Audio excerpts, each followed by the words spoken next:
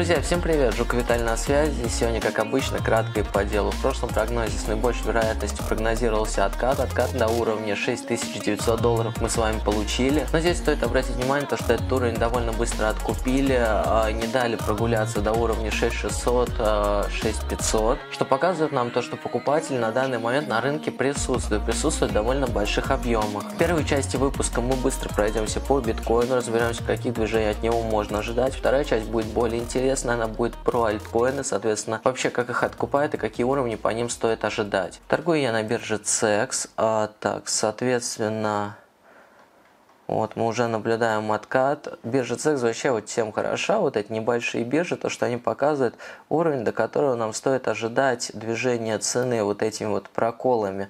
Соответственно, прогноз у меня, в принципе, который я, ну, хотел вам дать, но уже мы пошли дальше, то, что минимум пойдем до уровня 7700 долларов. А, и вообще вот на эти проколы с объемами стоит обращать внимание они отрабатывают, ну я не знаю, вот чтобы не соврать, 90% случаев. Мы с вами рассматривали то, что у нас от этого уровня как раз должно было быть падение. Падение нам с вами показали, но хочу обратить внимание, как яростно его начали откупать, а потом еще одним объемом закинули вверх. Сейчас, я думаю, мы прорисуем что-то похожее. Очень навряд ли, что мы сразу пойдем к уровню 7000 долларов. А здесь мы должны с вами обращать внимание на то, что а, у нас действительно послезавтра планируются новости по ETF, люди в ожидании. И здесь э, можно по графику начать отслеживать людей, которые, в принципе, имеют некий сайт по этой ситуации, то есть, соответственно, как они поведут себя. Мне кажется, что учитывая вот этот вот общий новостной фон, который сейчас нам вливают, ETF вполне могут одобрить. Это будет довольно такой неплохой ловушкой для людей, которые сейчас рассчитывают, что у нас будет коррекционное движение. И вполне вероятно то, что в среднесрок нас с вами еще могут протащить вверх. Здесь надо обращать внимание, вот опять же этот уровень 7600, 7400, как мы будем на нем себя вести. Соответственно, если мы его пробьем, то опять пойдем плюс-минус вот к уровню вот этой консолидации, то есть ну вот верх ее низ, то есть 6500 самая нижняя точка. Вот при данном движении, то есть этот уровень, вот, это, вот, вот эту вот всю зону, ее стопудово будут откупать. То есть проливать сразу на уровень 5500 очень навряд ли будут, потому что ну это не шибко выгодно маркетмейкеру. Плюс надо учесть то, что сейчас довольно позитивное настроение, и стоит сейчас цене там прорывать какой-нибудь уровень из серии 8500, люди опять начнут вылетать в покупки. Поэтому данную ситуацию рассматриваю как локальную коррекцию.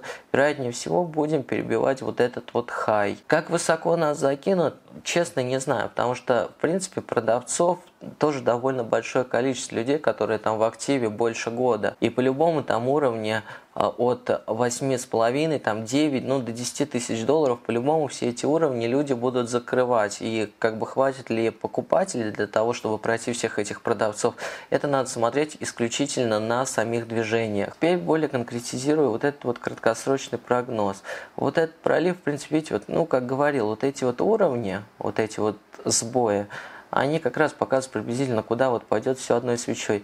Дальше еще могут протянуть чуть ниже, но сомневаюсь, что это будет ниже уровня 7500, 7400. То есть, вероятнее всего, здесь уже начнут откупать актив, и возможно, что уже даже следующим движением мы пойдем на перехай 8250, да, вот приблизительно пойдем на перехай этого уровня. Плюс здесь было бы довольно логично вкинуть новость, которая вроде как ничего не значит, но людям, которые на этом рынке не так давно, ну, могут навязать то, что вот это ETF, это прям овер круто, надо обязательно вкладывать сюда все свои последние бабки. Кстати говоря, по поводу вот свечей, то есть все время вот эти вот свечки, прострелы, они плюс-минус закрываются всегда. И вот здесь тоже, видите, тень пошла, закрывает. Ну, это очень частое явление, то есть на биржах с небольшими объемами, когда выкупаются стаканы, вот боты иногда оставляют вот такие вот свечки, как индикатор. Поэтому, думаю, краткосрочно здесь стоит ожидать вот поход до ну вот либо до этого уровня уже, где мы сейчас находимся, либо чуть ниже, там до 7400, вряд ли ниже, а этот уровень опять будет откупать. Первая цель, где будут в краткосрок фиксировать откуп, это плюс-минус ну, 8 тысяч долларов. Но я думаю, тут возрастут объемы, и все-таки, наверное, вот следующее движение уже реально мы с вами пойдем на уровень 8300. Пока что данные объемы не похожи на слив крупного игрока, плюс довольно количество большое поддержек. Теперь рассмотрим ситуацию по альткоинам. Начнем с Ripple. Здесь ситуация намного интереснее. А, на самом деле за эти выходные нехило так я все нервы подпортил с этим активом, я отслеживал вообще все движения. Но ситуацию по альткоинам разберем после небольшой рекламной интеграции. Друзья, спонсор данного выпуска – компания Fairplay. Fairplay – это первое лицензированное криптоказино с контролем честности на блокчейн. Проект использует в своих играх блокчейн-платформу TruePlay, которая обеспечивает контроль честности игр. Fairplay – это действительно масштабный проект. Пополнять и выводить выигрыш можно с помощью Ethereum и Bitcoin. Это быстро, надежно и анонимно. На сайте можно посмотреть статистику игр за весь период. Нужно отметить, что обычные игры на базе Ethereum работают очень медленно. Они часто очень неинтересны. У Fairplay подобных проблем нет. На Fairplay вы выбираете игры от лучших мировых провайдеров с многолетним опытом на рынке. Сайт доступен на английском и русском языке. Служба поддержки, как и во всех серьезных проектах, работает 24 часа в сутки. Быстрые выплаты без комиссий. Также Fairplay дарит щедрые бонусы игрокам на первые депозиты. Для подписчиков моего канала удвоенный бонус на первый депозит. Используйте промокод YOBONUS и получайте плюс 200% к своему первому депозиту. Ссылку на проект Fairplay вы найдете в описании под видео. А мы с вами продолжаем.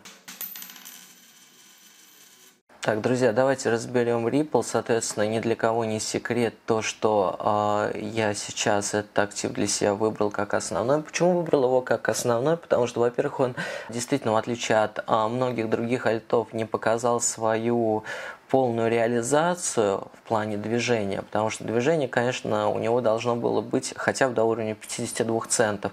А нам там фитилем свечи нарисовали, чтобы не ошибаться, 37, по-моему, центов. Да, 37 центов ровно нарисовали, и сразу же актив полился вниз. Сейчас его начали откупать, соответственно, те, кто следит за моими новостями а, в сообществе на YouTube, говорил то, что я сделал довольно большую позицию на закуп. А, соответственно, закуп от 40 центов там, с половиной до 35 центов. Очень-очень много ордеров здесь сделал по той причине, то, что у нас локальный был восходящий тренд, мы, соответственно, его преломили и показали подтверждение. Он немножко сюда еще зашел, но, соответственно, то, что видим, то есть уже 38, 38 центов, вот это у нас низ. Его, причем здесь хочу обратить внимание, что его уже на данный момент откупают на объемах. И, ну, у меня, в принципе, уже большая позиция набралась. То есть, если здесь еще будет отскок еще пониже пойдем, у меня там еще да наберется позиция. Ну, вот я как раз перед тем, как записывать этот выпуск, посмотрел, там уже неплохо так набралось. Что касается репла, я напомню то, что я его вот здесь вот слил, и дальше он пошел вниз. Соответственно, здесь никаких ордеров не ставил. Здесь был большой, вот здесь вот был большой соблазн его купить, надо было купить, но что-то я решил не рисковать, потому что, ну, это уже не совсем по трейду трейдерский, потому что покупать как бы стоит уже там от пробития уровней, ну, чтобы наиболее вероятная была покупка. Ну, не стал заходить, это и правильно сделал, в принципе, потому что все это дело могло еще ниже посыпаться. Я же не, не Ванга, я же не знаю, что, что у нас сразу пойдет такое движение. Но сам факт, то, что у нас с вами пошла просадка, и тут объемы, и все, и на, начали держать уровень. С какого бы хера им, извините, держать уровень 38 центов – причем это уровень, хочу обратить внимание, вот, то есть мы отсюда начали продолжение восходящего движения, то есть получили памп, и дальше на объемах мы начали торговать это восходящее движение. И здесь мы, соответственно, начали держать этот уровень, его активно откупали, соответственно, мы увидели то, что здесь был набор позиций, здесь подняли курс, соответственно, сейчас начали разгружаться, и сейчас вот, судя по всему, опять его начинают откупать. Лично я принял решение набирать данную позицию. Что касается целей по Ripple, соответственно, первая цель это у нас вот этот вот уровень. А, ситуация будет вот плюс-минус, как э, в самом начале движения у нас было на уровне 40 центов. Ну, вот здесь вот была война, я вам показывал, то есть здесь, в принципе, уровень в уровень они бились. Здесь она в итоге прошла выше и у нас показала рост.